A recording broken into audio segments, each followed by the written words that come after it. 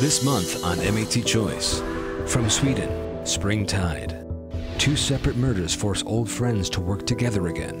From Austria, Anatomy of Evil. Heino Ferch stars in this dark mystery series set in Vienna. From France, The Art of Crime. A police detective teams up with an art historian to solve crimes in the heart of Paris. All this month on MHz Choice. Start your free trial at mhzchoice.com.